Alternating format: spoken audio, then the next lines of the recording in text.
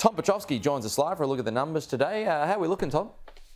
Pete, uh, well, in the bigger picture, it's looking quite encouraging in terms of what the futures are assessing for our own prospects today. It's a pretty modest improvement, but still on the positive side of the ledger with a gain of around 0.2 of a percent expected. And I say that's modest because we've seen some very encouraging moves higher as far as US and European stocks are concerned last night.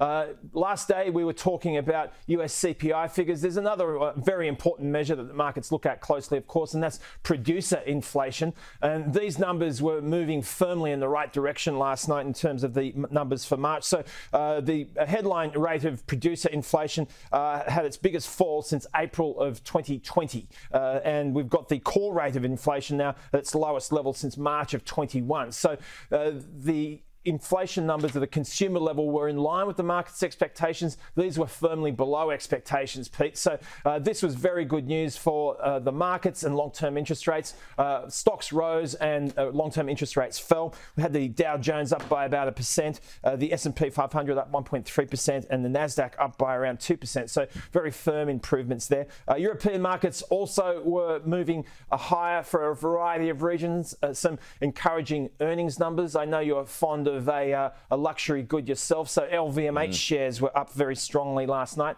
up by 5% on the back of strong uh, sales numbers. Uh, there were better producer uh, um, factory production numbers. Uh, we saw the German market up by 0.2 of a percent, the French market a record high of 1.1 uh, percent, and the FTSE up by about a quarter of a percent. Well, speaking of the French uh, and luxury goods, Louis Vuitton had its store raided in Paris overnight, Tom, uh, because of those riots relating to pension reforms. so maybe people are after um, you know, some cheap goods from from LV. You got any of that, by the way? It's it's it seems a bit of a contrast in emotions. Not prepared to work, but still prepared yeah. to you know ransack a store. I think they need to get their uh, priorities in true. order, Pete.